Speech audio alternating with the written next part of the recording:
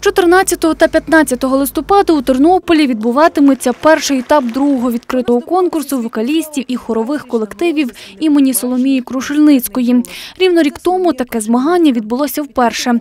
Зібрало майже пів тисячі учасників, серед яких півтори сотні вокалістів різних вікових категорій, а також хорові колективи музичних училищ та коледжів. Ми пишаємося тим, що в минулому році головою журі нашого такого уже престижного конкурсу була наша пріма солістка Віденської опери е, е, Вікторія Лук'янець. І в цьому році ми вирішили знову ж таки продовжити ось цю розпочату минулому році роботу. Конкурс складатиметься із двох етапів. У першому 14 та 15 листопада виступлять вокалісти віком від 10 до 18 років.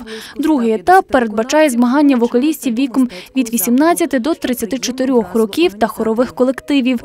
Їх журі прослуховуватиме у березні 2020 року. Це безумовно вшанування нашої славетної землячки, нашої славетної Соломії Крушельницької, а також вияв талановитих, здібних дітей.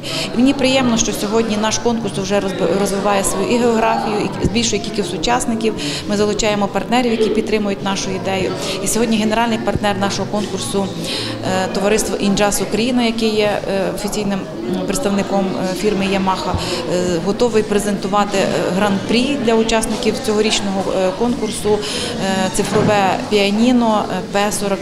Це для індивідуальних занять. 15 листопада на сцені Тернопільської обласної філармонії підсумки першого етапу другого відкритого конкурсу вокалістів і хорових колективів імені Соломії Крушельницької підіб'ють гала-концертом і церемонією нагородження. Започаткований конкурс у співпраці з благодійним фондом Соломія та Тернопільським музичним коледжем імені Соломії Крушельницької.